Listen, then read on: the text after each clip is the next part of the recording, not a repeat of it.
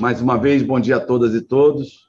Um prazer, nesse dia de hoje, 13 de agosto, que o Fórum completa 18 anos. Fórum Permanente de Desenvolvimento Estratégico do Estado do Rio de Janeiro. Então, agradecer a presença de todas e todos. Eu dizia para a Geisa da importância do fórum, dizia para a Geisa qual fundamental é a articulação, se você está reunindo todos os setores, setores empresariais, setores das universidades, setores, é, as associações, Associação Comercial, Firjan, né? o Rio Indústria agora com o Sérgio, os sindicatos, os representantes dos setores. E, por vezes, parece que, que a gente reúne, reúne, reúne, e alguns podem pensar que não, não tem fruto, mas tem bastante frutos. Temos várias leis. Esse ano mesmo poderíamos falar é, da lei do incentivo para pequeno agricultor, que isso vai desonerar mais de 30 mil produtores do estado do Rio de Janeiro, a lei do Rio Log, temos outras leis, outros projetos de leis na casa que a gente precisa enfrentar, mas tem os negócios de impacto, tem muita coisa. E sempre lembrando que aqui nós somos o legislativo, né?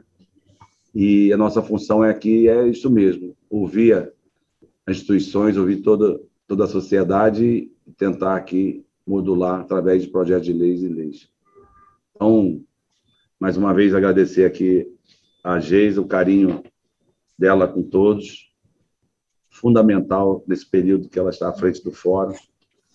É, não sei se todos sabem, mas esse semana que passou nós inauguramos o nosso plenário aqui, mudamos de vez para o prédio que a gente está chamando de Alerjão, o antigo Banerjão.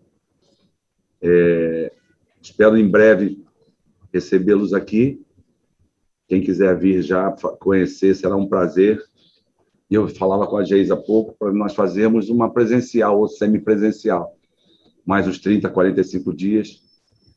Não tem luxo, mas tem muita funcionalidade, muita, eu diria, tecnologia e sustentabilidade. Nós acabamos com papel no, no plenário. Hoje temos um tablet para os deputados. É, todo o prédio está adaptado. Nós estamos hoje no prédio utilizando água aqui de reuso, filtrando água. Estamos fazendo uma coisa bacana aqui de sustentabilidade, muito bacana mesmo. É, como eu disse, somos hoje, estamos completando os 18 anos.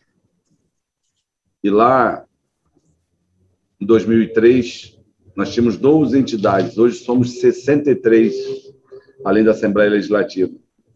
São mais de 350 membros titulares e suplentes que atuam nas oito câmaras setoriais dois grupos de trabalho, prestando seu conhecimento, experiência e sonhos, ajudando a construir o futuro do Estado do Rio de Janeiro. Eu dei o um exemplo agora da desoneração do ICMS da conta para o agricultor, mas a gente está aberto, eu já tenho conversado aqui com o Procurador-Geral de Justiça, o doutor Luciano Matos, em relação a algumas, alguns desafios que o Estado precisa enfrentar. Nós perdemos, no longo dos últimos anos, investimentos importantes no Estado para, o, para outros estados, como indústria farmacêutica para o Estado de Goiás, questão dos, dos atacados para o Espírito Santo. Então, a gente precisa modular e a Assembleia está com disposição de enfrentar, de reunir, de discutir é, separação de alíquotas de ICMS. Tem um exemplo do setor de distribuição de remédios. O Espírito Santo é 1,85% do, de ICMS para para distribuidora de remédios. O Estado do Rio cobra 18, mais 2. O sujeito está indo para o Espírito Santo, vendendo para o Rio. É 1,85 mais 7. Então, a gente precisa enfrentar, eu coloquei isso aqui como exemplo, para o presidente do Tribunal de Justiça, para o Procurador-Geral de Justiça, porque muitas das vezes, como o exemplo do Rio Log, a gente reuniu, reuniu quatro, cinco audiências públicas, debate com com acompanhamento do Ministério Público, com Secretaria de Fazenda, PGE, votamos, discutimos, emendamos, melhoramos o texto, aprovou, sancionou, o MP entrou na Justiça. Então, a gente precisa enfrentar e a gente está com disposição disso. Bem. Hoje, a ideia é que a gente pudesse falar um pouquinho do, dos 18 anos, mas também do, do PLC 42, que é o projeto de lei complementar, que está regulamentando a utilização do, do Fundo Soberano.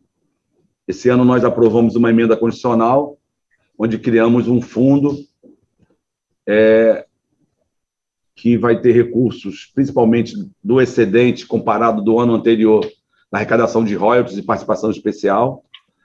Nós, nesse mês de agosto, a partir do dia 20, 21, vamos arrecadar, Mauro, mais que todo o ano passado. Segundo a estimativa da ANP, nós vamos ter uma receita de em torno de 3,2 bilhões de reais só de participação especial. Podemos ter quase 4 bi de participação em royalties. Isso, nós já, arrecadamos esse ano 8 milhões. 8 bi, 0,23 milhões de reais de royalties de participação. Esse recurso vai todo para o Rio Previdência. Mas por uma emenda constitucional nossa, a gente cria o fundo e 30% do excedente do ano anterior, comparado à arrecadação 21 com, com 20, vai para o fundo. Nós estimamos em torno de 2 bilhões de reais. Nós também fizemos aqui uma, uma CPI de participação especial, onde o deputado Luiz Paulo conduz brilhantemente a CPI, e nós já levantamos que o Rio deixou, nos últimos 10 anos, de arrecadar em torno de 10 bilhões de reais. Para ser preciso, 9,8 bilhões. Então, parte desse recurso, 50% desse recurso recuperado, vamos destinar ao, fundo. Pela, pela perspectiva de produção do pré-sal, nós vamos ter nos próximos quatro, sete anos um incremento de, de, de arrecadação de participação em royalties. Então, acredito que nós vamos ter um fundo aí nos próximos três, cinco anos com recursos para investimento. E a gente está tá focando muito no investimento, casando com a área produtiva, em tecnologia, e a gente quer ouvir muito o Estado. Nós vamos já já discutir em regiões é, para onde vamos fazer esses investimentos. Nesse instante, nós estamos, estamos discutindo o texto do projeto de lei. Mauro, está aberto seu som aí, por favor. E a gente aproveitar o dia de hoje, na comemoração dos 18 anos, mas também para falar um pouquinho é, do projeto de lei complementar, e a gente quer ter, por parte de vocês, contribuições para que a gente possa melhorar. A gente já fez uma discussão com as universidades na segunda-feira, tratando de outro tema, falamos um pouco também do projeto. E uma das críticas de economistas e da, dos reitores é que o fundo não pode ser administrado pela Fazenda, porque senão vai servir para superávit. Foi falado aqui a possibilidade de ser é, administrado pela Secretaria de Planejamento, pelo secretário ou secretária, é, ou pela, pelo secretário ou secretário de Desenvolvimento Econômico. Então, a gente está aqui para ouvir as sugestões, discutir e, mais uma vez, agradecer a atenção, o carinho, saudar todos os participantes e lembrar que hoje fazemos 18 anos e, e agradecer aqui o carinho e a competência da, da nossa amiga Geisa.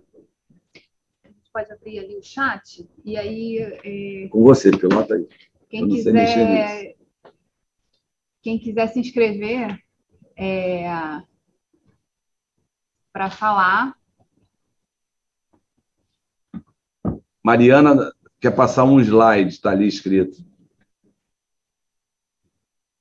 O Mauro. Oi, oi, oi. Por favor, fazer uma saudação. Já vi que você quer fazer uma apresentação aí. É, até a Geisa mesmo tinha solicitado. Você quer aquela apresentação, presidente, que a gente fez para os reitores? Pode ser? Pode, por favor. Então vamos lá. Pode tela, por favor, Mariana. Deixamos ninguém falar e já entramos. Bom, é, a ideia quer dizer, do, da, do presidente da André e da, da LERJ, né, é no sentido de nós superarmos, quer dizer, uma situação é, do Estado do Rio de Janeiro, que desde os anos 70 é a unidade da federação, quer dizer, que menos, menos cresce, e a gente entrar num, num círculo virtuoso com investimentos, com ampliação da estrutura produtiva do Estado, com diversificação, quer dizer, da, da estrutura produtiva, com ampliação, quer dizer, da, da receita pública, sem precisar ampliar impostos, inclusive em algumas áreas onde não esteja competitivo com outros estados, inclusive diminuí-lo, né? Então, a ideia é basicamente isso: esse fundo servir como um fundo de investimento e ter uma estratégia e um planejamento, uma coordenação de políticas que nos leve a um círculo virtuoso. Pode por favor, Mariana. Quer dizer, reforçando o que eu tinha dito, né, da década de 70 para cá, quer dizer, quando consolida a chegada da capital, nós fomos a unidade da federação, né, que apresentou maior perda de participação no PIB estadual, então a gente tem uma crise estadual. Pode ir, por favor. É, do ponto de vista de ICMS, né, nós estamos, quer dizer, numa situação também é, bastante ruim, ou seja, com a receita por habitante baixa. Isso não é fruto é, de, de incentivos fiscais, principalmente, pelo menos, não é fruto de incentivos fiscais, é fruto de nós temos pouca estrutura produtiva, pouca base para arrecadação e não podemos também é, cobrar ICMS sobre o petróleo, porque o petróleo e a energia elétrica são uma exceção na Constituição e são cobrados no destino é, e não na origem. Pode, por favor, Marina. Nós temos um gasto com pessoal baixo, né? quer dizer, a grande maioria das unidades federativas gasta com pessoal ativo, não estou falando de aposentados, mas pessoal ativo, né? em relação ao total da sua receita corrente líquida. Né? É muito mais do que o Estado do Rio de Janeiro, ou mais do que o Estado do Rio de Janeiro. Ou seja, é o contrário de um senso comum que existe, de que o Rio seria é um playboy, como um playboy rico, como um playboy que tem um pai rico e que nada, nunca nenhum dinheiro dá. Nós temos, nós estamos na 18ª posição em termos de receita corrente líquida, nós temos por habitante, nós temos o ICMS por habitante baixo e temos uma crise fiscal com a maior parte das áreas com pouco funcionalismo público. Por exemplo, a Secretaria de Assistência Social não tem um assistente social nos seus quadros. Nós temos pouquíssimos engenheiros hoje no estado do Rio de Janeiro. Quer dizer, como montar os projetos, como montar as licitações, as parcerias público-privadas. Então, a gente tem realmente uma situação muito grave e a gente precisa ter uma estratégia que passe também por investimentos e por recursos para investimentos para reverter essa situação. Pode ir, por favor, Mariana.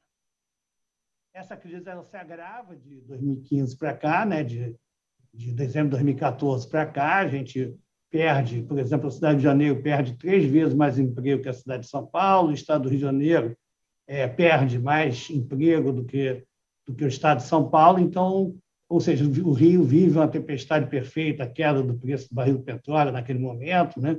Então, essa situação ela aí se agrava e a gente precisa realmente estar se unindo, procurando encontrar saídas estruturantes para a gente reverter isso, e a ideia do Fundo Soberano caminha por aí. Pode, por favor. Esse ano também, ano passado também nós fomos a unidade da federação que menos perdeu emprego, que mais perdeu emprego carteira assinada, somando, quer dizer, o período de dezembro de 2014 até o final de 2020, são cerca de 700 mil empregos carteira assinada que o Estado do Rio de Janeiro perdeu, quer dizer, uma barbaridade. Né? Pode ir, por favor. Enquanto a gente tem uma taxa de desemprego pela PNAD, que tem uma metodologia diferente do CAGED, aí pega emprego formal, informal, e aí pega o número de pessoas procurando emprego, a nossa, é, ou seja, quase 19% da nossa população em idade ativa está procurando emprego, no Brasil isso é 14%, e em Santa Catarina gira aí nas faixas de 6%, 5%. Quer dizer, qual é o, segredo de Santa Catarina, pelo que nós já estudamos, é que lá nós temos uma, uma estrutura produtiva integrada, as grandes empresas lá não são enclaves, são âncoras. Antiga Sadia, Antiga Perdigão, a VEG, Secrisa, Tubo Chigre. Então, o que a gente precisa né, é que aqui também tem uma estrutura produtiva integrada. E a ideia é o Fundo Soberano ser um dos instrumentos para é, levar a esse tipo de situação. A gente não pode continuar, por exemplo, com, as, com a Petrobras comprando fora do estado do Rio de Janeiro é, 20% dos seus equipamentos, dos seus contratos de serviços, ou seja, quer dizer, falando aqui do ponto de vista, é, enfim, quer dizer, da, da, do meu ponto de vista pessoal, a Petrobras é um enclave no Estado do Rio de Janeiro. Esse é um fato. A gente precisa estar negociando com ela, respeitar ela como empresa, mas a gente precisa estar ampliando, né? negociando com o IBP, para a gente poder estar aumentando aqui é, esse complexo produtivo, como o deputado André está fazendo através da comissão que foi criada, que a deputada Célia Jordão preside, e a CPI é com relação aos royalties do petróleo. Pode, por favor. Voltando a Santa Catarina, enquanto Santa Catarina é 29% do emprego né, está é, é, tá na indústria de transformação, no estado do Rio de Janeiro é cerca de só 9% mesmo na quarta revolução tecnológica, como, como tem sido chamada, né, a indústria continua muito importante. Hoje em dia é difícil saber onde começa a indústria, acaba o serviço, onde acaba o serviço, começa a indústria, mas o fato é que ela paga salários altos, ela demanda a maior parte de inovação, quer dizer, feita pelo setor privado, ela é indutora, isso é um ponto muito importante. Se a gente quiser ampliar e reverter o, ciclo do Estado de Janeiro para um ciclo virtuoso, a gente precisa de atividades indutoras são aquelas que vendem para fora, atividades que podem vender para fora e gerar renda nova, atividades que possam substituir importações. Então, o deputado André sempre fala que a água mineral vem de fora do Estado do Rio de Janeiro, a gente tem que articular para que ela seja feita aqui, entre outros N produtos, ou também atraindo né, pessoas para consumir é, na nossa região. Hoje, o nosso turismo é extremamente diminuto, pode aumentar muito, então a gente precisa estar mirando bons exemplos. Eu acho que Santa Catarina, no caso brasileiro, é um bom exemplo. Tem uma estrutura produtiva integrada, isso que a gente busca. Pode falar. Aqui a gente vê é, a relação emprego privado-população dos municípios do Sul-Sudeste com mais de 100 mil habitantes. Novamente, a gente vê é, que entre os melhores está Macaé, mesmo depois de toda a crise, o que mostra também a força do petróleo, a força de Macaé ter um porto, um aeroporto, né? mas a gente olha novamente a Baixada Fluminense está ali entre os dez piores municípios em termos de relação emprego privado formal população, né? É, são do, cerca de são 207 municípios, que têm mais de 100 mil habitantes no sul e sudeste, e a gente aparece ali na rabeira e a gente precisa é, modificar esse tipo de situação. Pode ir, por favor. Esse é o dado que eu já tinha falado, são dados fontes da Petrobras, está na nossa nota técnica, que está à disposição de todas e todas, a Geisa também pode está tá entregando, mandando para quem é, tiver interesse. Nós estamos fazendo agora, inclusive, uma segunda versão atualizada, mas essa ainda está, é, enfim, já está já tá, ainda está bastante atual, mas nós já estamos atualizando ela. Pode ir, por favor. O gás natural. O gás natural, hoje, as empresas petróleo reinjetam 50%. Elas alegam que, na verdade, precisam fazer isso para extrair petróleo. Mas não é possível que a gente não possa é, dar uma função melhor a uma parte desse gás natural para isso, a gente precisa trazer o gás natural de alto mar para a terra. Vai ter uma Rota 3 que deve chegar em Itaboraí o ano que vem, passando por Maricá, e o nosso diretor-geral da, aqui da LERJ, que tem larga experiência em desenvolvimento econômico, né, o Wagner Victor, é, ele fez uma proposta de que chegue uma Rota 4 ali em Itaguaí, é muito importante para nós isso, São Paulo está disputando com a gente, e o Rio tem tradição de discutir Brasil, discutir mundo, e pouco de discutir região e defender os interesses legítimos da região. Acho que a gente precisa se unir em torno da bandeira da Rota 4 para levar emprego para aquela região, para a zona oeste também da cidade de Janeiro, para a Seropédica, e não pode ficar injetando, reinjetando e sem uso do gás natural mais de 50%, e que, segundo a Magda Chambriá, que está trabalhando conosco aqui, foi diretora-geral da ANP, tende a aumentar. Então, isso é uma coisa, um alerta. O gás natural, para nós, é muito importante para reindustrializar o Estado do Rio de Janeiro. Pode, por favor. Também temos a situação complicada do ponto de vista educacional. É, o último dado, apenas dois municípios no Estado de Janeiro estão na ensino fundamental de primeira a quinta série até a milésima posição, então a gente tá, precisa estar discutindo uma estratégia integrada de desenvolvimento para o Estado do Rio de Janeiro. Tá?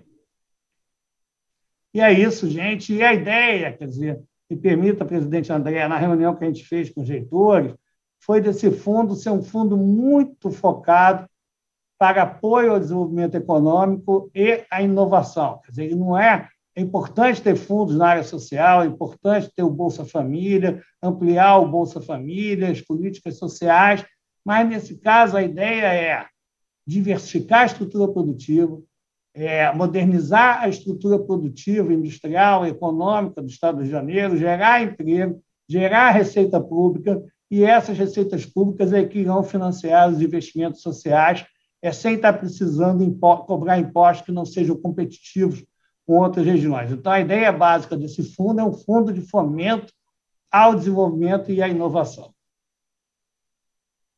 Obrigado, presidente. Obrigado, gente.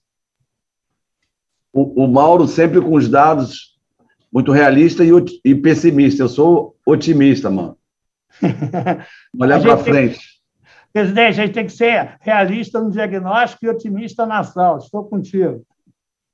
Tá. Então, só para dar um dado, Mauro, não sei se eu já te falei, é, aqui a gente acompanha, para você e para todos os presentes, a arrecadação do Estado semanalmente. É, de janeiro a julho de 2019, a arrecadação do Estado foi da ordem de 37 bilhões de reais, de janeiro a julho de 2019. Em 2020, com a pandemia, e com o apoio do governo federal no repasse de 2,4 bi, a arrecadação estadual foi da ordem de 36 bilhões de reais de janeiro a julho. Janeiro a julho de 21, a arrecadação do Estado, 43 bilhões de reais. 6,987 milhões, quase 7 bilhões a mais em relação aos sete primeiros meses do ano anterior pouco por conta do petróleo e participação, mas também um, uma retomada forte da arrecadação do ICMS. Isso se deve a vocês, né, empresários que fazem a coisa acontecer.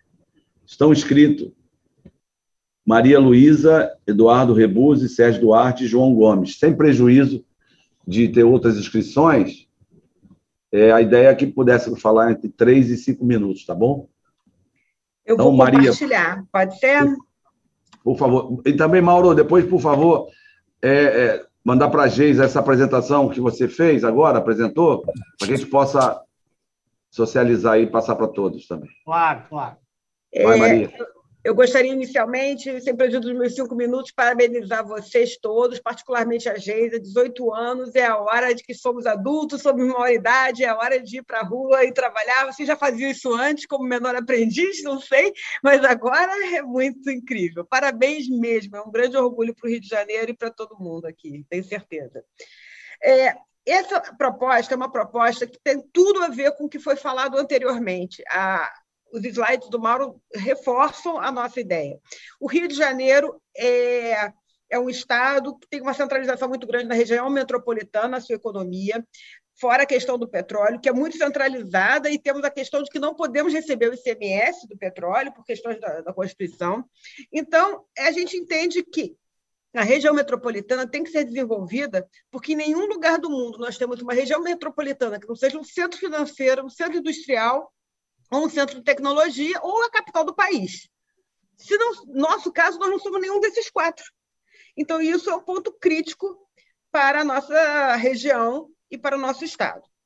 E aí, a nossa proposta é ter uma, um anúncio de que o Rio de Janeiro está na vanguarda da tecnologia. E por que, que eu falo um anúncio e não uma iniciativa? Porque hoje o Rio de Janeiro já tem 20 mil empresas de tecnologia, de serviços de tecnologia, de software, não estou falando de comércio de equipamentos, estou falando apenas de serviços de tecnologia de software. 20 mil que eu falo também não estou incluindo aquelas empresas menores, que são os PJs, etc. Estou falando de empresas mais robustas que têm funcionários ou que têm colaboradores e que trabalham gerando tecnologia e fazendo esse serviço.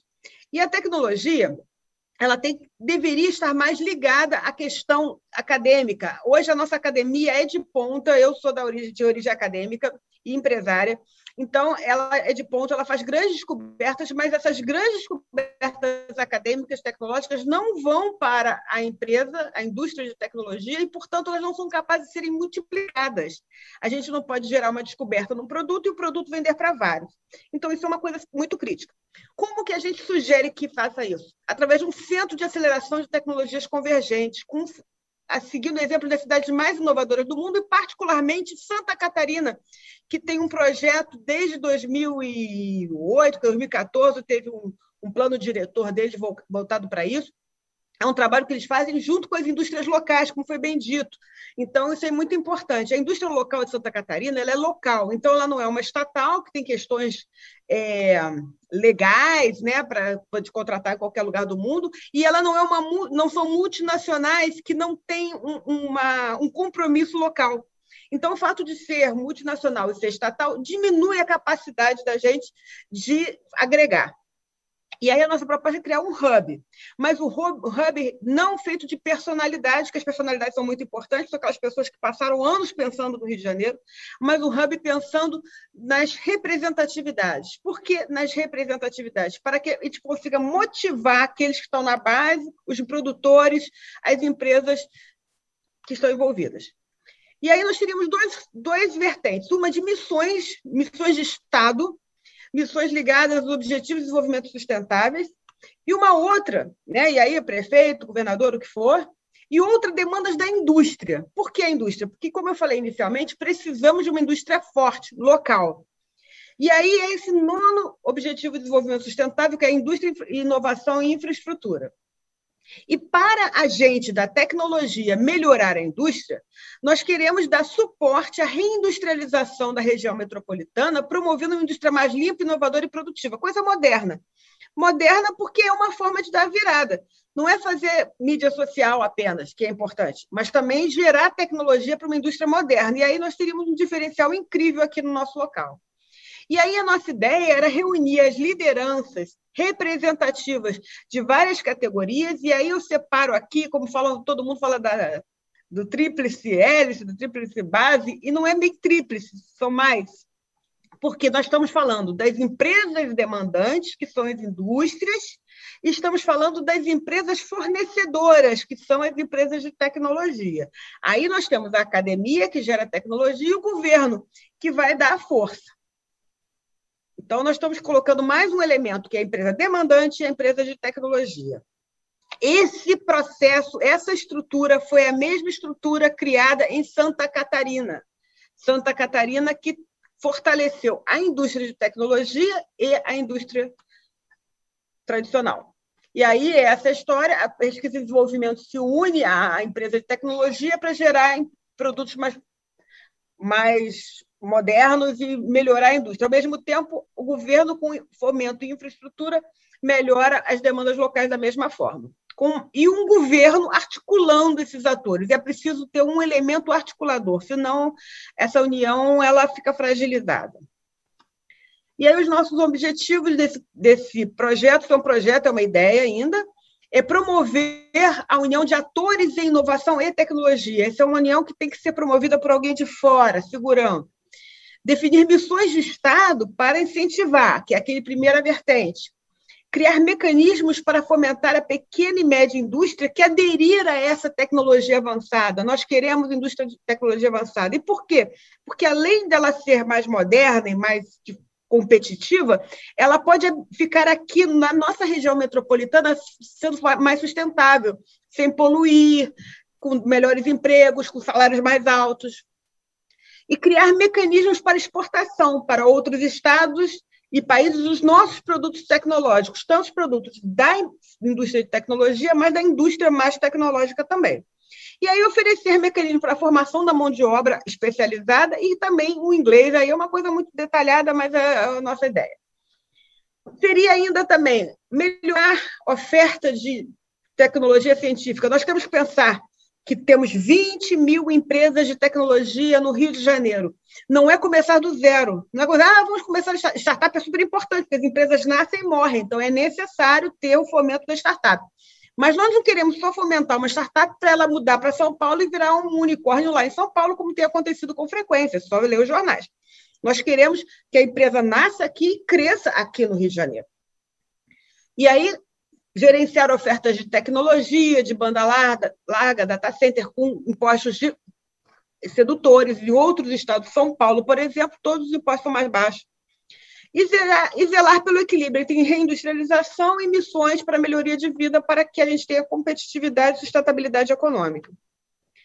Aí a nossa ideia é, a gente já falou isso numa outra ocasião, e o presidente falou que a gente poderia trabalhar junto com os prefeitos das regiões metropolitanas para conseguir com que uma adesão à redução do ISS para menos 2,9, que é o que é hoje praticado na maior parte das capitais, particularmente São Paulo, liderar um projeto de aceleração de tecnologia sobre, convergente, utilizar os recursos da, do petróleo, seja da ANP ou mesmo do Fundo Soberano do Rio de Janeiro. Nós hoje estamos com um projeto junto ao Senac em Rio de Janeiro de formar 5 mil alunos em três anos, com um curso de tecnologia avançada. E aí oferecer espaços, aí daqui o exemplo Porto Maravilha, Parque Lipo, tanto faz, mas é um espaço que a gente possa criar uma união uma união para relacionamento. E aí é falar de investimentos em inteligência artificial, aeroespacial, que hoje já existe no Rio de Janeiro, games e essas coisas todas. Nós temos um sonho a gente quer botar esse sonho em prática. É isso. Parabéns, Maria, parabéns. Nós avançamos um pouquinho, vamos. O que, que o fundo pode financiar, né? Eduardo Rebuzzi, por favor. Bem, é, bom dia a todos. É, parabenizar inicialmente aí o presidente Ciliano pela condução da, da LERJ, também do fórum. Parabenizar a Geisa, né? 18 anos, você não está o tempo todo, mas tenho certeza, desde quando você entrou, o fórum teve uma, uma, uma vida muito mais intensa, uma atuação muito mais intensa. Né? Acho que todos nós aqui somos testemunhas disso. Né? E, e parabenizar os demais parlamentares da, da as entidades, a equipe de funcionários, todos que atuam em defesa do Estado do Rio de Janeiro e do nosso fórum. Eu acho que a apresentação do Mauro Osório e agora da, da Maria Luísa foram muito boas e realmente eu gostaria de ter depois para a gente poder avaliar. Né? O Mauro Osório nunca nos surpreende, porque ele traz uma realidade, uma realidade real, né? digamos assim, e temos que ter otimismo, sim, para poder fazer com que é, é, o futuro seja melhor do que nós temos até hoje. Tá? Eu queria apenas comentar, presidente, além do, do, das entidades que temos representadas aqui no, no fórum, FETRANSCARGA, FIJAN, FEComércio, Ação Comercial e outras, né? nós temos hoje, o senhor deve também participar de algumas, eu sei disso, de várias é, é associações informais, digamos assim, é, tratando o Rio de Janeiro como Coalizão Rio, Juntos pelo Rio, Empreende Rio, é, Câmara Rio, são todos nós, a gente, o que a gente percebe hoje, a sociedade fluminense e carioca, numa vontade muito grande de reverter esse quadro que o Mauro Osório nos trouxe aí, alguns dados positivos, mas muitos dados negativos. Né? E a sociedade fluminense e carioca precisam mudar realmente esse quadro. E não se tem melhoria da condição social, isso é sabido por todos, sem crescimento econômico, sem condições de que novas empresas, as que estão aqui, fiquem e outras voltem a, a se instalar no Rio de Janeiro e utilizar essa, essa infraestrutura maravilhosa que nós temos aqui. E podemos contar também, é, nesse ponto, com o Sistema S. Nós temos aqui a Firjan, o SESI Senac, FEComércio, o SESC Senac, a FETRANS, SESC Senat, que podem também contribuir na formação de mão de obra de jovens, jovens aprendizes, jovens, desculpa que eu estou rouco, muito rouco, jovens aprendizes e melhorar a condição de empregabilidade é, é, da, da, da, população fluminense. Ontem mesmo eu dei uma entrevista é, para a Record falando sobre o CAGED, crescimento da empregabilidade no Brasil, e o setor de carga, de transporte de carga, é o quarto que mais tem empregado no Brasil neste ano de 2021. Tá? Temos empregado muito motorista, motorista de caminhão, ajudante, todo o pessoal voltado para a logística, o que é algo positivo, que quando a logística começa a funcionar, significa que a economia do país está começando a andar também, perfeito? É, no, no, caso do Rio de Janeiro, é, em especial, nós temos uma preocupação muito grande, presidente, com a infraestrutura, em especial da mobilidade de pessoas. Né? Nós temos é, embora eu seja oriundo da, da carga, eu atuo muito tempo na ação comercial no Conselho Empresarial de Logística e Transporte lá, que também trata o transporte de pessoas. Né?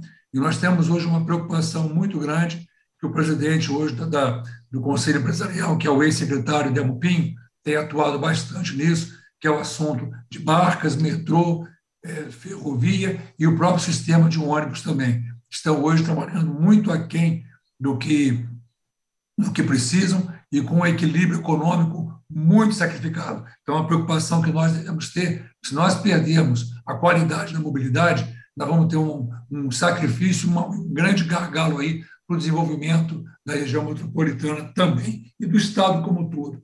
Outro ponto que nós também temos que atender é o, com relação ao PELC, Plano Estadual de Logística de Carga, PELC 2045, que foi desenvolvido em parceria do governo do Estado com a iniciativa privada, que é um importante plano de trabalho é, perene de Estado e não de governo para desenvolvimento e melhoria da qualidade da nossa infraestrutura de logística.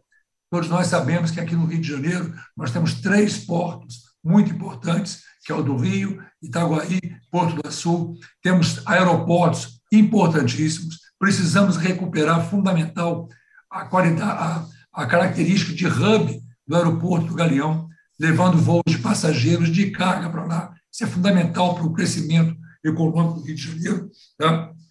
Temos concessões é, rodoviárias federais que estão se vencendo agora, é, é neste ano, parece vencer ano passado, este ano, que é a rodovia Nova Dutra, a rodovia Presidente Dutra, que este, é, já está aprovado o edital de, de licitação para este segundo semestre, que vai entre, entre Rio Seropédica e Rio até é, é, Rio Ubatuba, né? que são duas rodovias, desculpa, importantes para o Rio de Janeiro, né? que é a Rio São Paulo e a Rio Angra também. São concessões federais que interferem diretamente na logística do nosso Estado. Além disso, vamos ter a, a concessão da Concer, que é a Rio Juiz de Fora, e da CRT, que é a Rio Teresópolis. Então, uma atenção muito especial, nossa também aqui do Estado do Rio de Janeiro, dos nossos parlamentares, nossas entidades, com as concessões federais também que estão acontecendo aqui no Estado do Rio de Janeiro, participando das licitações públicas, das audiências públicas, para trazer o melhor para o nosso Estado. E esse trabalho aí eu tenho, sou testemunha do trabalho do ex-secretário Delmo Pinho, a liderança dele, muito forte e, sempre tendo a visão para o Estado do Rio de Janeiro. Por último, eu queria apenas é, dizer que com a pandemia nós tivemos que interromper um pouco os encontros presenciais, mas é compromisso nosso de voltar a ter as reuniões com alguns deputados para tratar de assuntos é, com foco, tanto os nossos parlamentares do Estado, como também os parlamentares é, federais do nosso Estado que nos representam em Brasília. Tá? Então, parabenizando mais uma vez o Fórum, a sua presidência, a atuação da, da Geisa, cumprimento a todos e coloco a FETRASCARGA, é, da qual sou presidente, também presido a seção de cargas da Confederação Nacional de Transporte, que congrega todas as federações do país de carga, e, e também o, o, Conselho Regional do CSNAT coloca à disposição de todos aqui para nós continuarmos seguindo juntos pelo nosso Estado e pela nossa cidade. Um abraço a todos e sucesso. Mais uma vez, parabéns. Obrigado, Eduardo. Parabéns aí. Com a palavra, Sérgio Duarte, Rio Indústria, por favor. Bom dia, presidente.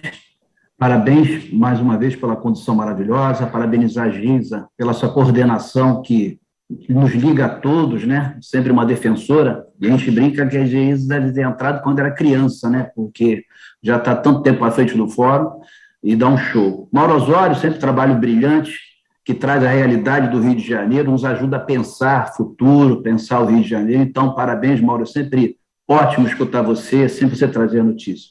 Cumprimentar, vou cumprimentar o meu primeiro vice-presidente, Gladstone dos Santos, está aqui presente, que é presidente do Sindicato de Plástico, quero cumprimentar todos os presentes. Presidente, em primeiro lugar, eu quero dizer o seguinte: parabéns, que preocupação, a esperança que o senhor nos traz quando o senhor trata esse fundo soberano, traz essa ideia do fundo soberano. Seria tão mais fácil que essa, toda essa arrecadação extra fosse usada para despesa isso comprometeria o futuro do Rio de Janeiro. Eu acho que o Rio de Janeiro se encontra hoje por, no passado, não ter, não ter se pensado no futuro. Então, parabéns por essa atitude, parabéns pela criação desse Fundo Soberano, trazer essa discussão. Isso vai garantir o, o futuro nosso Rio de Janeiro. O Rio Indústria é, ele tem como sugestão que o fundo soberano seja usado para criar um fundo para garantir as PPPs, presidente. É muito importante que o investidor que queira vir aportar recurso no, Rio de Janeiro, fazer investimento, tenha garantia. E a gente pode usar uma parte desse fundo para ter essa, essa garantia das PPPs, das PPPs, porque muitas vezes é um inibidor para o investidor essa, essa condição de não ter certeza se vai à frente a sua PPP, aconteceu com o Porto Maravilha, nós tivemos alguns problemas, eu acho que é muito importante trazer essa segurança.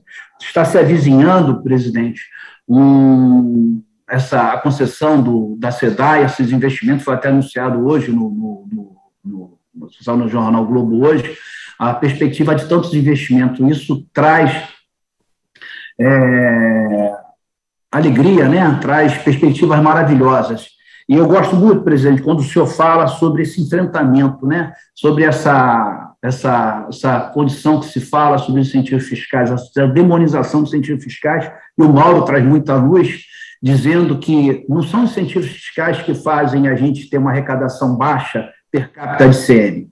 As pessoas precisam entender, e eu vou tentar mostrar assim um exemplo, que a cada 100 reais de compras que a gente compra em outros estados, o Rio de Janeiro é um estado que consome quase tudo, né, que ele importa quase tudo que consome, a gente produz muito pouco no Rio de Janeiro, a cada 100 reais que a gente compra de outro estado, 12 reais são impostos, o ICM está incluído dentro daquela nota fiscal. Ou seja, nós geramos riqueza aqui, trabalhamos para gerar riqueza, e todo dia, a cada 100 reais que compramos de outro estado, nós mandamos 12 reais para outro estado. É por isso que a arrecadação per capita deles é muito melhor que a nossa. O que o Rio de Janeiro tem que fazer? Tem que inverter. Tem que inverter essa lógica. Nós temos que começar a mandar mais notas de 100 reais para outros estados, para que venham esses 12 reais de CM dentro da nota fiscal para nós. É, como a Maria falou, apresentou muito bem, e o Rebus também, nós temos condições logísticas, nós estamos, é, nós estamos no centro da região sudeste, e é uma falácia dizer que o Rio de Janeiro não tem condições de ser um, um estado industrial. Temos sim, nós temos regiões, nós temos a Baixada Fluminense, a região metropolitana, temos o interior do estado, todas regiões que a gente pode realmente mudar a realidade desses lugares. Então, presidente, parabéns pelo enfrentamento.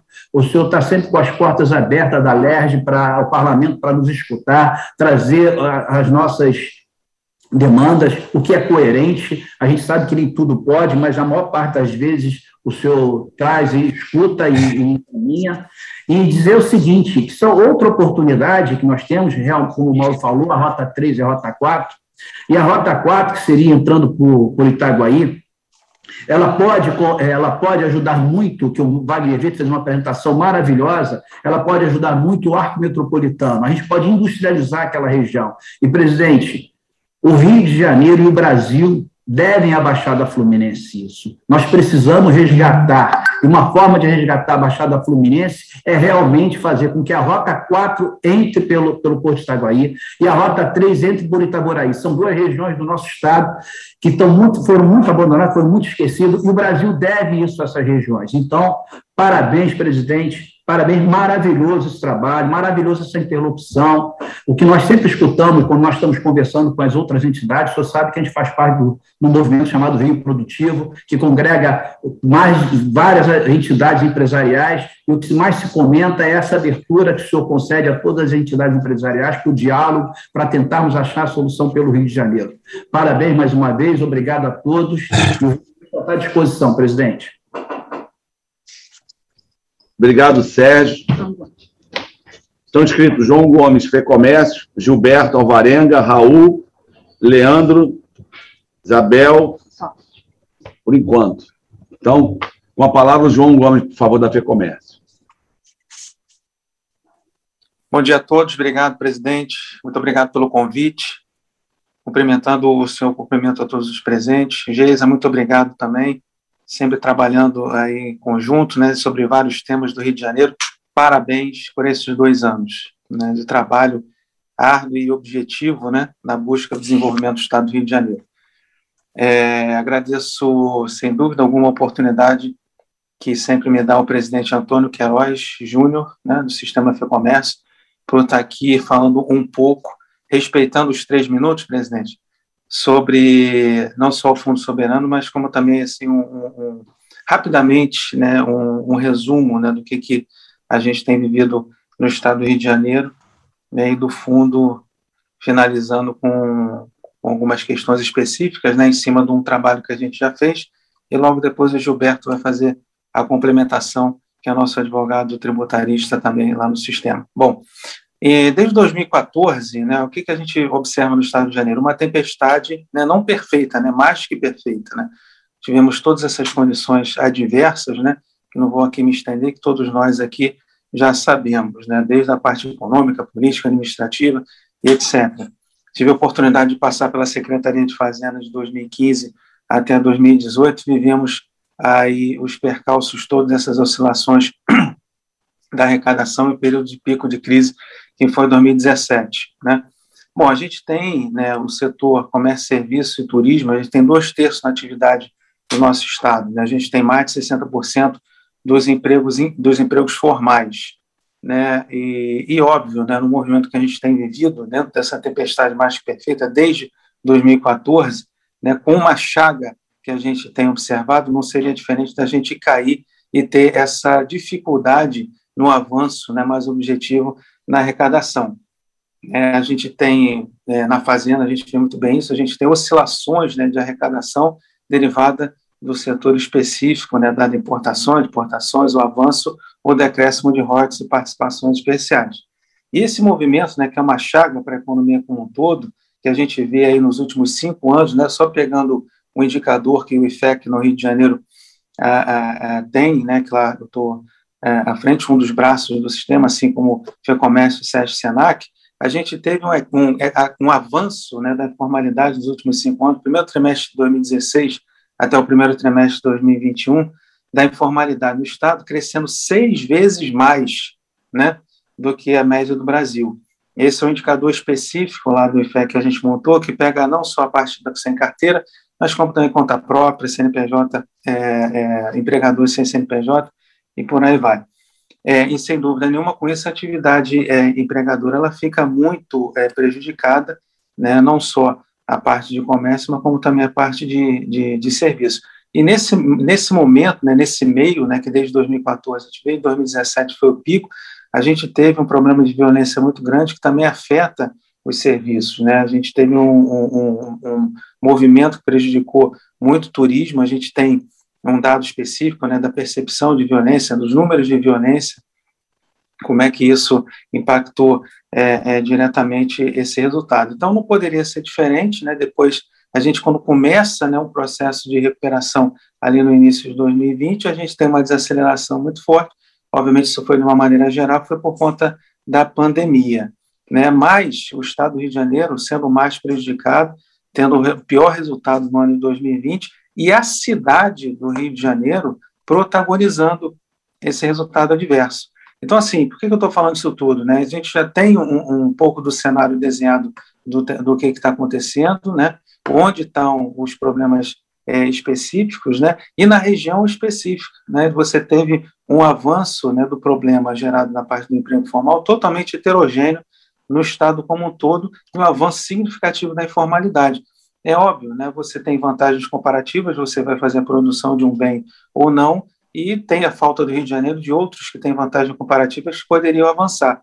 Mas é inegável, se você não tiver um olhar para essa chaga que está acabando com a economia do Estado do Rio de Janeiro, não adianta você querer dar saltos mais fortes se você não consolidar aquilo que você já tem é, é, é, de, de, de, condição natural do Rio de Janeiro, que é a parte de, de, de, de comércio e serviço e principalmente a parte de turismo. Ah, em 2021, a gente já tem uma, um processo de recuperação, é claro, aí com o serviço protagonizando. Poderia falar assim, não, mas é óbvio que o serviço protagonizando tem uma base muito baixa. Tudo bem, mas só que no Rio de Janeiro cresceu quatro vezes mais do que o Brasil nesse último dado de junho, e infelizmente no momento que a vacina começa a desacelerar e a informalidade começa a acelerar de novo. Então, assim, você tem um processo de recuperação, você teve ali as variantes que ajudaram nesse processo de recuperação, colocaram o Rio de Janeiro nesse protagonismo, e você já começa a ter um processo de, de, de dificuldade na manutenção desses, dessas variáveis é, favoráveis. Né? Você tem uma perspectiva amplamente favorável no segundo semestre. No segundo semestre de 2019, de 2020, foi protagonizado pelo comércio, e muito provavelmente agora pelo serviço, segundo semestre de 2021, e a gente não pode perder esse movimento. Esse dado do IBGE, do CAGED, etc., eles são de junho, mas outro dado do, do, do IFEC aqui no Rio de Janeiro, que é o Visão do Empresário, que tem o Geral Comércio Serviços e dois serviços, mostra como o serviço, de fato, está com um movimento diferenciado nesse momento de recuperação. Então, assim, você já tem uma condição macro que é diversa, tá? Com elevada taxa de juros, você tem uma pressão inflacionária é, é muito grande, Diferente no Rio de Janeiro, você tem os estados do Sul com uma pressão de alimentos muito mais forte do que está acontecendo no Rio, mas o fato que você tem uma inércia inflacionária mostrada pelos núcleos, isso vai jogar a taxa de juros ainda mais para cima, uma situação macro que é adversa, e você não pode perder esse avanço da vacina que a gente está aí com respiro, pelo menos para esse segundo semestre, no caso do Rio de Janeiro, e é preciso consolidar esse movimento, principalmente na qualidade que a gente tem de cara, que é o setor de, de turismo. É, a gente tem, agora falando especificamente no fundo, a gente tem movimentos, né? a gente tem modelos internacionais, né? desde a Noruega até a, a Venezuela, a gente tem formas diferentes de administração, é preciso que haja continuidade, possivelmente entidades fora do governo, como há exemplos no mundo, é, você o, o, e o fundo especificamente, você tem que ter o fundo para uma é, é, suprir a capacidade de investimento que foi a quase a zero nesses anos que eu comentei aqui, principalmente 17 quando foi o pico da crise, tem essa dificuldade de retomada do investimento. De forma alguma, isso pode ser é, é, é atrelado para a composição de, de, de superávit, para a composição de demanda corrente, é, principalmente aquelas que são é, recorrentes. Então, compartilho, presidente, daquilo que o senhor falou inicialmente, a questão da visão dos economistas, né, em relação a, a, ao direcionamento desse recurso, olho com, com, com, com preocupação, e tem que ter claro esse objetivo, tem que ter claro a continuidade em cima né, de diversas é, possibilidades é, que tem da alocação desse investimento, mas que o diagnóstico para o nosso estado do Rio de Janeiro, principalmente agora na nossa cidade, acho que está bem claro e o caminho para onde a gente tem que seguir.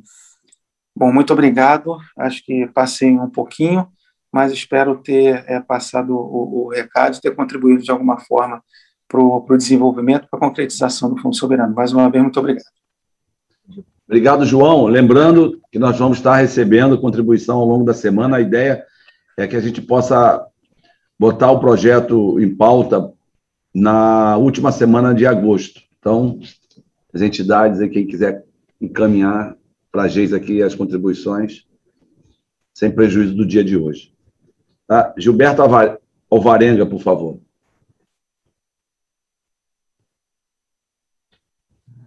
Bom dia a todos, é, bom dia, é, deputado. É, a quem saúdo é, a, a, todos aí na sua pessoa. É, acho que essa iniciativa é uma iniciativa excelente, como, como tem dito aí todos que, que têm falado até agora. Eu estou aqui marcando o meu tempo para ver se consigo obedecer os três minutos. A gente tem aqui algumas considerações e até em continuidade com o que o João havia mencionado.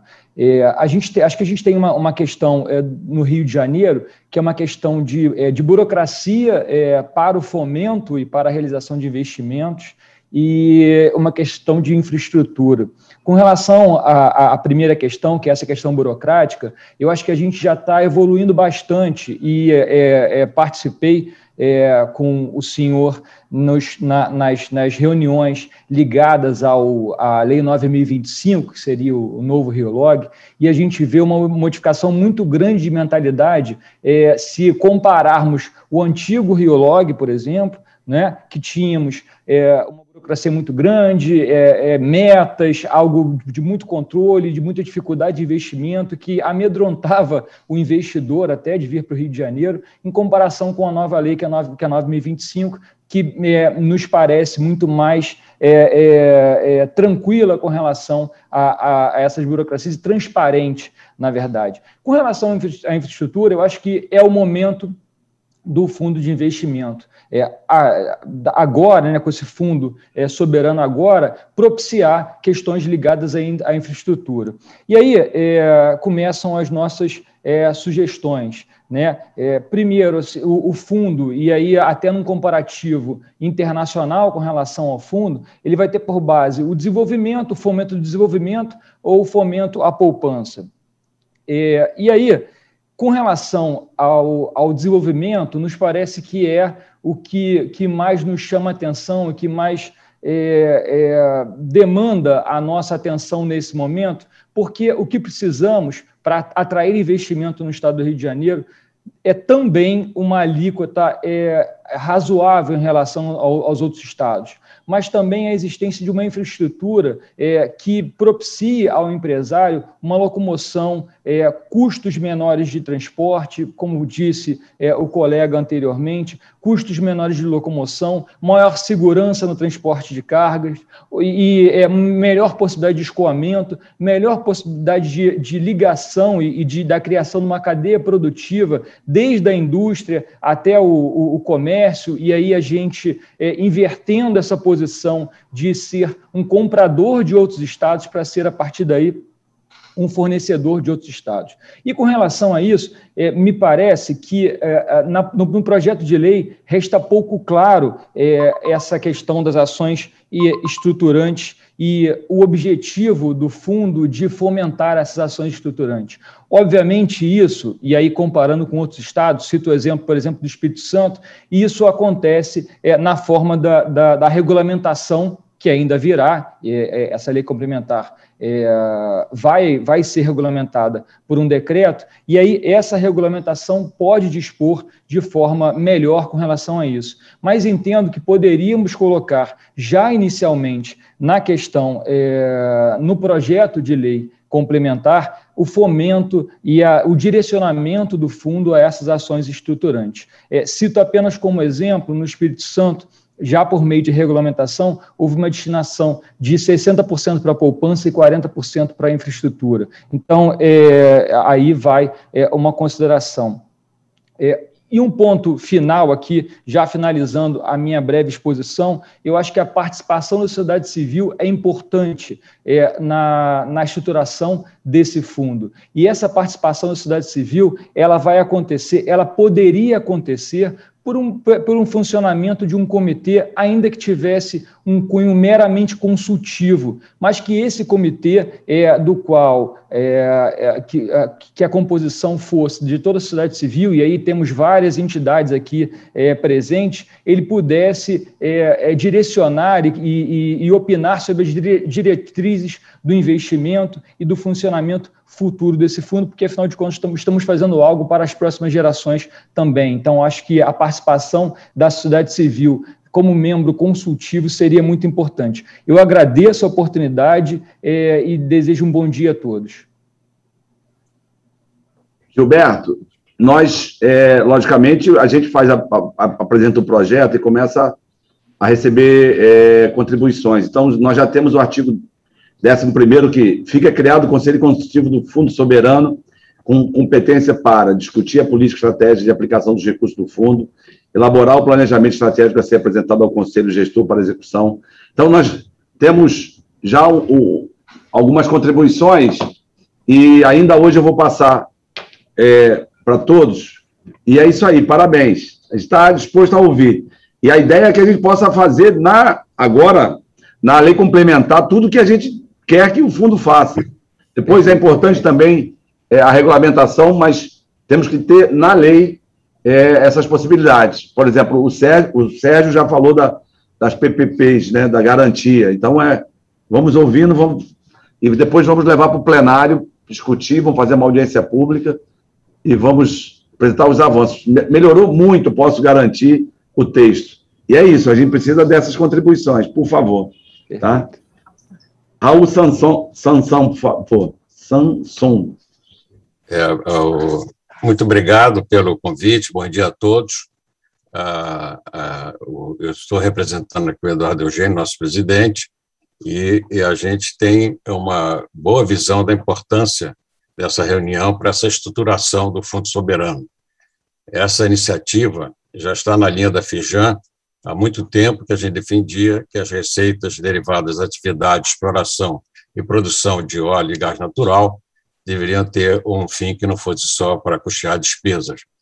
A gente tem uma experiência, porque quando foi, eh, na época, a Fijan foi uma das fundadoras da UNIP, é Organização Nacional da Indústria do Petróleo, em 98, a PUC fez um estudo nas eh, principais eh, fontes produtoras do mundo, tipo lá no Mar do Norte, pegou a Inglaterra, pegou a Noruega, pegou os países árabes, e todos eles já tinham um, um fundo, exatamente um dinheiro provido da exploração para ser aplicado no desenvolvimento, na época, podia ser social, podia ser econômico ou tecnológico. Então, a, a gente já tinha uma percepção, e hoje é só a gente ver a Noruega investindo em outros países, aplicando esse dinheiro que foi é, é, é, colocado através da, da, desse fundo. Ah, é importante dizer que a gente está aqui, a FEGEM representa a indústria do Rio de Janeiro, ou seja, ela tem como objetivo formular, apoiar as políticas e ações que vão contribuir para o desenvolvimento eh, econômico, tecnológico, social do nosso Estado. E sempre com a visão de melhoria de progresso, não só no ambiente de negócio da sua indústria, mas também da qualidade de vida da sua população. Então, é, é importante dizer que a gente sabe, na Fijan, nós temos uma gerência própria, a Karine está aí, específica da, da, da, área de petróleo e gás, e naval, que já, já foi também de grande importância aqui, é, para debater esses assuntos é, que nós estamos hoje aqui reunidos. Então, eu não queria me alongar muito, porque é, eu daqui a pouco tenho que sair, nós temos, a Fijan hoje está no, no almoço com o governador, então, é, daqui a pouco eu vou ter que me ausentar e a Karine continua a, a, a representar a gente aqui. E como contribuição, a gente é, mandou para vocês, a Karine vai poder talvez detalhar, uma, uma sugestões na regulamentação desse fundo. Ela foi enviada através do correspondência para o senhor, e ela já deve estar aí, e eu não vou particularizar ela, deixa a Karine. E, finalmente, eu queria chamar um ponto muito importante. Ontem nós tivemos uma reunião do nosso Conselho Permanente de Óleo e Gás, do qual teve o Wagner Witter e teve o Fará, nosso secretário. E, realmente, eh, a gente tem que, já foi falado pelo Osório, pelo Sérgio, é de suma importância esse projeto da Rota 4B.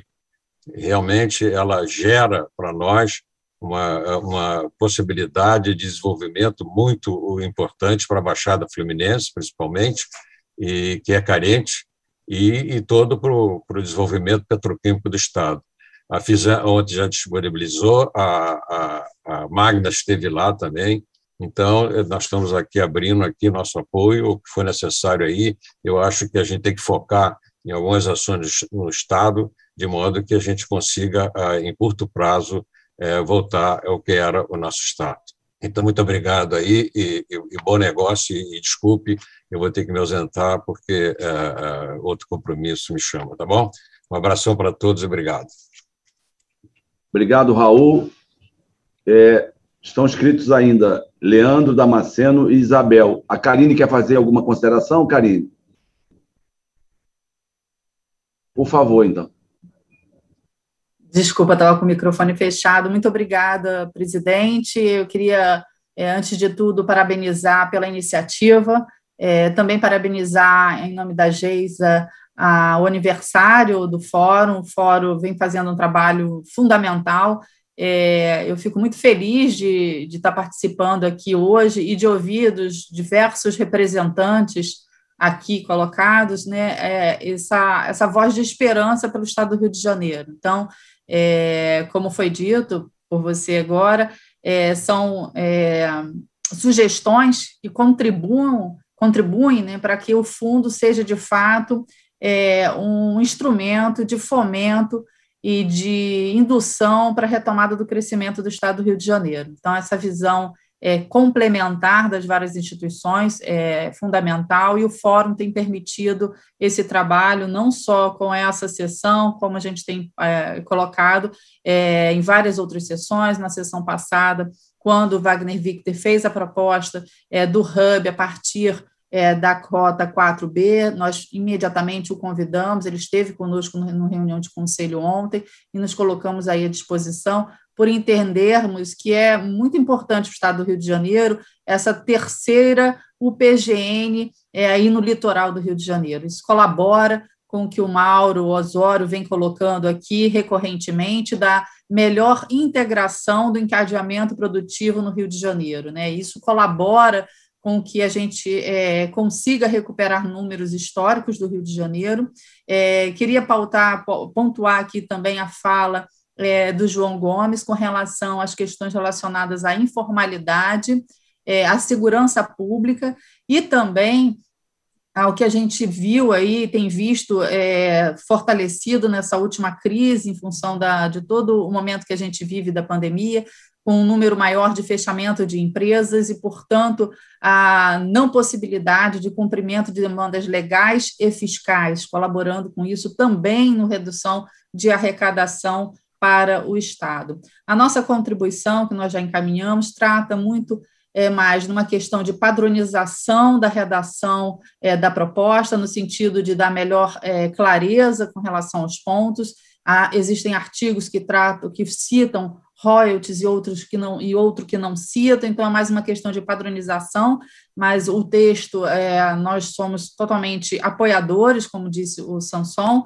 e uma última questão é com relação à melhor transparência da fórmula de cálculo de como se dará isso no sentido de evitar possibilidades de contingencionamento é, do fundo. Então, é, eu deixo aqui o meu parabéns, nosso parabéns a todos aqui que estão colaborando, principalmente aí ao presidente André Siciliano, pela iniciativa é, do Fundo Soberano. Muito obrigada. Obrigado, Karine. Não. Leandro Damasceno, por favor. Bom dia a todos. Cumprimento aqui o presidente, cumprimento a Geisa e já aproveito para parabenizar os 18 anos do Fórum.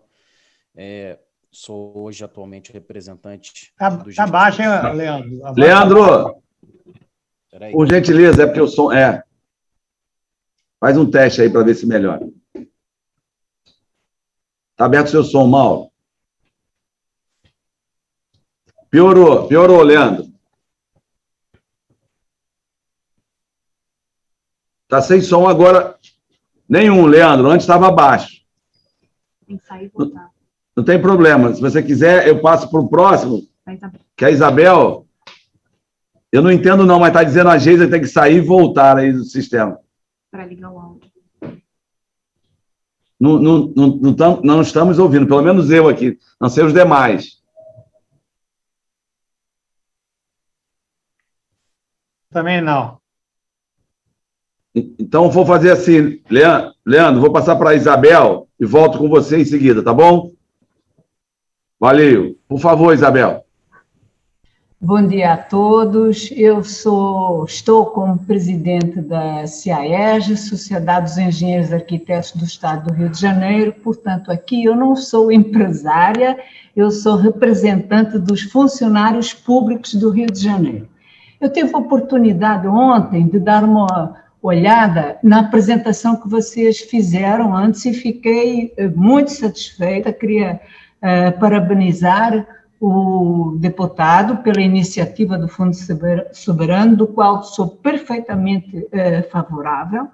Gostaria de apontar aqui um, uma, na explicação do Mauro Osório, que é sempre brilhante, é, situação que tem a ver conosco, funcionários públicos. Primeiro é a citação de que há poucos engenheiros no Rio de Janeiro, e, e isto rebate-se também no funcionalismo público. Nós temos muitos municípios que têm plano diretor e não tem nenhum engenheiro nem arquiteto no seu quadro de funcionários. Então, já por aí começa. Depois é uma outra coisa que é muito demonizado a história do funcionário público, que ganha rios de dinheiro. A média do funcionário público, a média de salário é muito baixa é que quando a gente se refere, só refere aos altos cargos e a determinadas castas que a gente sabe que existem. E na apresentação do Mauro, eu disse que nós aqui estamos abaixo de todos, da maioria dos outros estados, né? representando 30%, enfim. Então, há essa história que o funcionalismo, que o funcionalismo que tem que privatizar, não é isso. Nós precisamos, sim, de ter funcionários para dar transparência ao governo, tá? Então, isso aí é muito importante e essa é a bandeira que nós levantamos. Sobre a, as propostas do Fundo Soberano, como eu tive essa oportunidade de ver a apresentação que foi feita, anteriormente, eu gostaria de dizer que eu corroboro com a ideia de ter um controle social, acho isso importantíssimo, acho importante também a participação das universidades, afinal de contas, o Rio de Janeiro é um celeiro de universidades e de pessoas importantes que saíram daqui, deste celeiro de universidades, não só públicas, como até particulares. Então, eh, eu fico por aqui agora, reiterando os parabéns pelos 18 anos do fórum e dizer que a CAE está à disposição e está apoiando esse fundo soberano. Muito obrigada. Obrigado, Isabel. Vou passar a palavra de novo para o Leandro. Vamos testar aí, Leandro? Acredito que agora vocês me ouçam, não? Muito, muito. Saudar a presença também da doutora Denise e do Rafael Almada. Por favor, Leandro. Bom, Obrigado, presidente. Então, cumprimento, cumprimento a Geisa e aproveito para parabenizar os 18 anos do Fórum. Sem dúvida, uma instituição importantíssima para se pensar o Estado do Rio. Bom, eu queria aproveitar o gancho da fala do Sérgio Duarte, né, que mencionou hoje, inclusive, está é, tá mencionando é, uma reportagem no jornal sobre é, o lançamento do Pacto RJ, né, que prevê, segundo a notícia, 17 bilhões em investimentos, sendo a, a maior parte nos próximos dois anos, né, e em que pese é, a necessidade de investimento, e isso ficou muito claro né, na, na fala de muitos dos senhores aqui, na apresentação do Mauro, e sem adentrar o mérito né, do, do, da, da, das áreas, das escolhas dos setores onde esses investimentos serão feitos, é, o Estado do Rio de Janeiro simplesmente não se pode mais dar o luxo de errar aonde investir, né? E quando eu digo errar aonde investir, o Estado do Rio de Janeiro precisa adotar nos seus investimentos, né, é, critérios né, é, que estejam baseados é, em indicadores, em dados, né, para que esses investimentos sejam focalizados na geração de renda, né, numa nova geração de renda, é, no bem-estar social da população, né, no desenvolvimento é, de novas economias ou no fortalecimento das já existentes. Né. Não custa lembrar que a gente teve uma janela aí, principalmente de 2008 até 2014, 2015 mais ou menos, né, é, quando o Rio fez muitas operações de crédito, né, é, fez altos investimentos, inclusive por conta de, de grandes eventos que aqui foram realizados, né, as Olimpíadas e a Copa do Mundo, por exemplo, e a gente vê que esses investimentos né, não geraram é, retorno do ponto de vista de crescimento econômico ou de bem-estar social. Né? Então, simplesmente, o Rio de Janeiro não pode mais errar aonde investir. Né? É, e aí, como representante né, dos gestores, de fato, é, é, é preciso ter um olhar né, é, para os processos, é preciso ter um olhar para uma gestão por resultados, né? É, porque sem dúvida nenhuma e, e obviamente sempre respeitando, né? É, as estratégias né, de, de, de, quem está no poder para fazer as políticas públicas, é, a gente precisa ter sempre em vista o foco dos resultados. Né? Novamente, pensando no crescimento econômico e pensando no bem-estar social, como bem ressaltou o Mauro.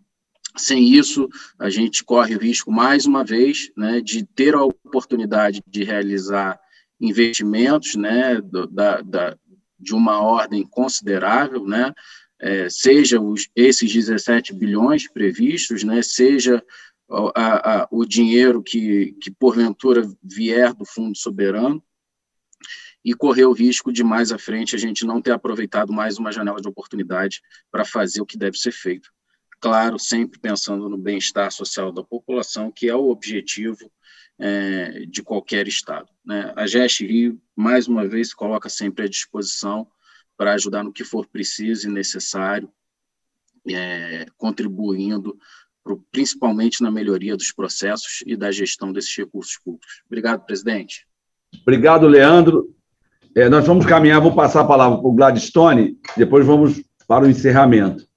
Se alguém que queira falar algo, por favor. Presidente, okay, muito obrigado. É, é, bom dia. Oi, você está me ouvindo? Bom, obrigado. É, um bom dia a todos. Eu queria falar muito rapidamente.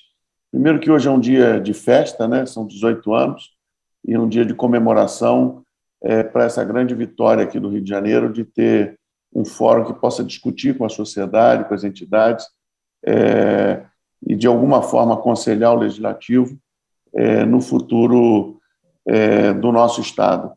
Rapidamente, só, eu acho que a gente vive um momento é, diferente, talvez um momento novo é, para todos nós. Eu acho que a pandemia é, vai deixar esse legado, principalmente para nós aqui do Rio de Janeiro. Nós começamos com todas as dificuldades que passamos nos últimos meses a poder discutir um pouco mais, poder nos unir um pouco mais, poder trabalhar de forma mais colaborativa. A gente está passando aqui por um processo no Rio de Janeiro de desglobalização. Isso quer dizer que a gente está voltado para dentro do Estado. E, e, essa união, essa transformação que está havendo, ela realmente precisa ser capturada por todos nós, aproveitada, implementada, para que a gente consiga reconstruir o Estado do Rio de Janeiro, tanto na área de desenvolvimento, é, enfim, como em todas as outras áreas, na área social, enfim. É, a gente falou aí há pouco, a Kátia comentou sobre a questão é, do encadeamento produtivo das rotas do gás, falamos aí do Fundo Soberano, e a gente precisa pensar aqui no, no Rio de Janeiro em termos do desenvolvimento da cadeia do petróleo e gás. Então, a gente tem o petróleo, tem o gás, tem a petroquímica, e a gente precisa trazer de volta para o Rio de Janeiro a, a, as indústrias de transformação de plástico, que são a terceira e a quarta geração dessa cadeia do gás. Então, queria só registrar isso e comemorar os 18 anos do Fórum e, e, e tentar expressar esse sentimento desse clima diferente que paira sobre o Rio de Janeiro, justamente através da união de todas as entidades, com um único objetivo, que é ter de volta o Rio de Janeiro que a gente quer para continuar aqui, vivendo aqui, trabalhando aqui e sendo feliz aqui. Muito obrigado, presidente. Um bom dia para todos. Obrigado, Gladstone. Uma palavra, o nosso amigo Rafael Almada, reitor do... Bom, bom dia, estão me ouvindo bem? Ah, que prazer estar aqui com vocês, presidente, Geisa, todos é, é, da, da Assembleia Legislativa e demais amigos aqui que fazem parte desse, desse grande fórum.